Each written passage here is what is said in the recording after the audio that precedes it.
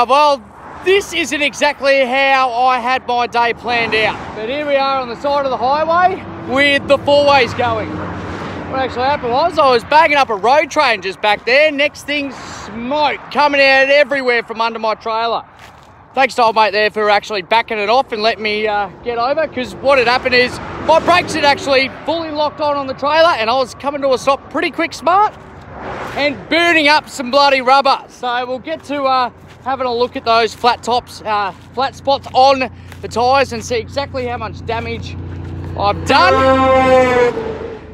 Cheers, old mate. Uh, I can sort of see there is a bit of burnt rubber underneath them. So hopefully I haven't totally stuffed them, but going 100k an hour and uh, dragging them for the better part of 400 metres, 500 metres before I could get over and, and come to a stop is not good for tyres, not good for tyres at all. So I've climbed under and had a look and the drama is, and what's caused all this is one of these. Yep, little hose clamp. So we'll get under there and have a look in a moment, but it looks like one of these is failed, broken. The hose to the booster, the brake booster has just popped straight off, air's run out, and the safety feature for the truck, it's automatically just locked on the brakes as soon as uh, you run out of air. So we'll get under there, we'll have a look, and we'll fix her up. Hopefully we'll be back on the road soon. Now you look down there into the distance in the right hand lane, that is Tones tyres. You bloody beauty, eh? You can actually see up the end there where they initially locked off. I've done well to get to here. So again, thanks to old mate driving that road train. Otherwise, yeah, I might have actually been coming to a stop in that right-hand lane. And there's our issue right there. And there's our hose. So that's how simple it can be at times. Actually, the, uh, the old one's here. So a bit mangled and cut up. So all we got to do Let's get the new one, put the hose over the top, tighten it back on. I'll probably then roll forward about six inches and inspect the tyres, but then we should be go. Good to go.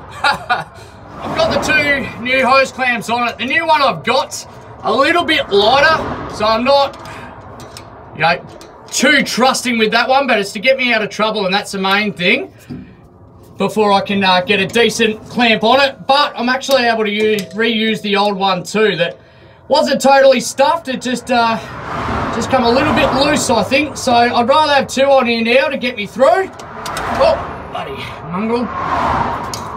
But she should be happy days here. Quick little fix, but who knows, I might have absolutely stuffed all my tyres and I might be uh, up the creek a few grand. So hopefully once I roll forward a little bit, once I tighten these up, build up my air, you probably could have moved over in the right hand lane, old mate. But anyway, um, yeah, we'll inspect the tyres and uh, make sure the flat spots aren't too bad. There's obviously going to be some sort of damage, but hopefully it's minimised. So there you go, she's good to go now.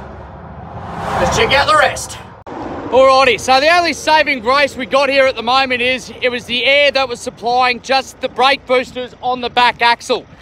So that's where the damage is going to be. It's not going to be these front two axles. Well, if I let it drag for another bloody three kilometres whilst not noticing smoke out the back, then yeah, it would have got the whole lot. But it was just the back axle that wasn't getting the air that cut it out. So I'll back it up slightly and let's assess the damage.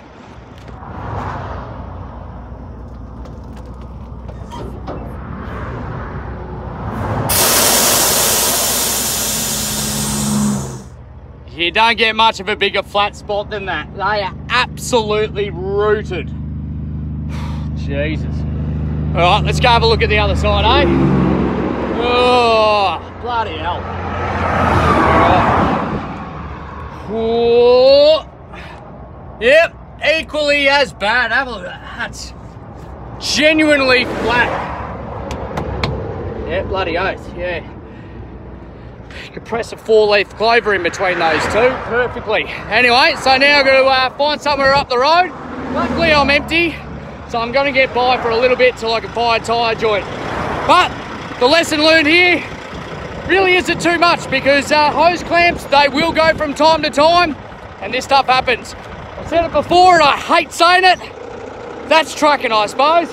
But always carry some uh, some spares and that type of stuff in there because if you don't have them, next thing you've got to call out as well. And apart from paying a bit over a grand for some new tyres, you've also got to call out for someone to get you a bloody hose clamp. All right, so we've got Matt here.